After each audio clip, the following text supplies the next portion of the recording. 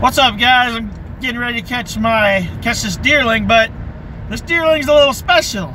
This deerling's gonna be my 1000th uh, deerling candy. I've already got a thousand deerling candy. I'm thinking there's probably not too many people that already got a thousand candy for this character, but I do, and you guys will see that if I catch it.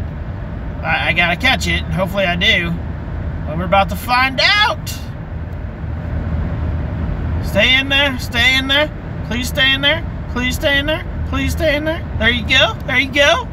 There we go. There we go. About to hit my 1,000 deerling candy. Right there, guys. Look at that. 1,000 deerling candy already. I bet there's not a whole lot of people that have 1,000 deerlings candy already. Uh, but I do.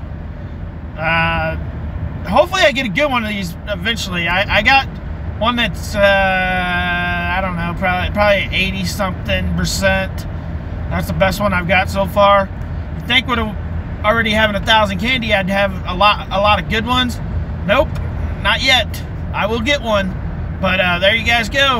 Uh, 1,000 Deerlings candy, and technically, I have 1,000 and I've got 1,050 because if you look down, you can see that I have evolved one of them, my 80% one. So I technically have already got 1,050 Deerling candy for this character already. You guys have a wonderful day. Tell me how many Deerling candy you got in the comment section below.